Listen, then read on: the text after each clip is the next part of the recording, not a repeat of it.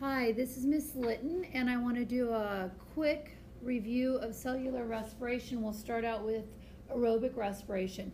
Keep in mind the main point of aerobic respiration is to take glucose and using oxygen break this glucose down in order to generate a bunch of ATP. And this happens through several steps.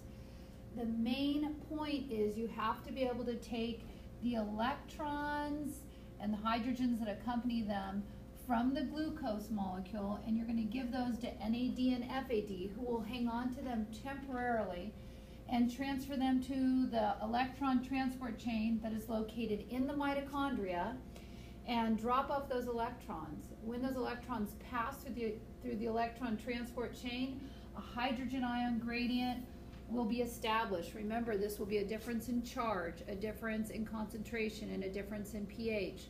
So when the hydrogen ions move back across um, the cristae of the mitochondria, you will be able to generate quite a bit of ATP. So breaking it down into its steps, um, we have glycolysis, which is going to occur in the cytoplasm. This is really 10 different steps that requires 10 different enzymes and your end product from glycolysis is called pyruvic acid. And when you do glycolysis, you're starting with gluco glucose, C6H12O6, and basically that is a six carbon molecule, whereas pyruvic acid is a three carbon molecule, so you will have two of them. Two times three is six. We have not lost any carbons. Following glycolysis, which occurs in the cytoplasm, we'll do transition prep, and this is going to occur in the rest of the steps in the mitochondria. Both of these pyruvic acids will become um, acetyl-CoA, and this is a two carbon compound, and you will have two of them. So if you look, if we're just doing the carbon math, we had two three carbons, and we had two, now we have two two carbons. So we will lose um, a, uh, two CO2s in that process. This carbon dioxide is what you're exhaling out when you um, breathe. You'll take both of those acetyl-CoAs and you're going to feed them into this Krebs cycle. The Krebs cycle or citric acid cycle is going to occur two times and in the process of that um, you will directly form um, two ATP and then each um, as a result of two turns, one a turn. And then this is where you're going to generate, as a result of two turns of it, four carbon dioxides. So we've got four here, two here, that's a total of six. That tells us where we are here. Now, the electron transport chain is going to use um, high energy electrons. Where are those coming from? Well, in the process of doing glycolysis, you will generate two reduced NADs. When you do transition prep, you will generate two more reduced NADs. When you do the Krebs cycle, you are going to make three reduced NADs a turn, so that will be a total of six, and you will make two FAD reduce. All of these reduced NADs and FADs are brought, bringing their electrons to the top of the ETC. As those electrons are passed along, then you're going to form a hydrogen ion gradient on one side.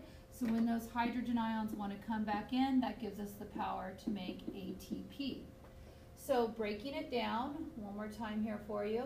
Glycolysis occurs in the cytoplasm, 10 total steps, and then your end, your end product, pyruvic acid, is going to come in and you're going to do transition prep with that. And let me see. And let me go back. So sorry. You're going to do transition prep with that. Um, and the process of glycolysis, you'll make two ATP and two reduced NAD, but you'll end up with two pyruvic acids.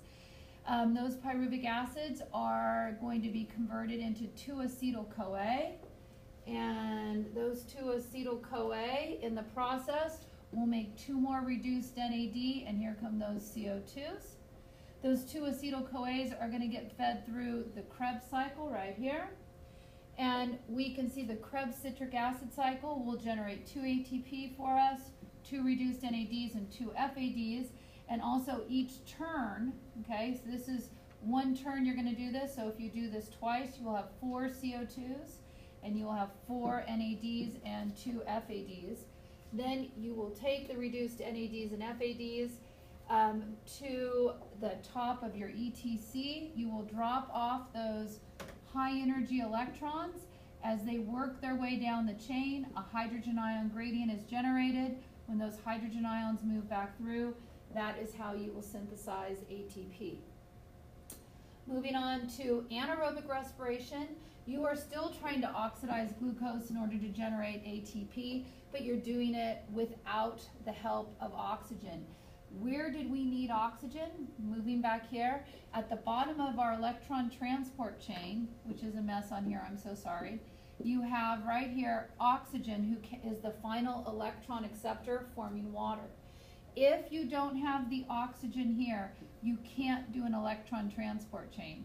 If you can't do the electron transport chain, you cannot do the Krebs citric acid cycle, you can't do transition or prep, so you are left with just this step right here without oxygen. So what you have to do instead is you have to do fermentation because you need oxygen to, you, to generate the most ATP. So you'll take your end product, still 10 steps, 10 enzymes for glycolysis, making 2 NAD and 2 ATP. You'll take your pyruvic acids and you'll either convert it to alcohol, which is a C2 molecule, or lactic acid, which is a C3 molecule. Um, um, either way, you will oxidize your NAD so you have something to reuse here again in glycolysis. Um, ultimately, not as efficient because it only generates 2 ATP, whereas if you could do aerobic respiration, you could generate somewhere between 36 to 38 ATP depending on efficiency. All right, I hope that was helpful.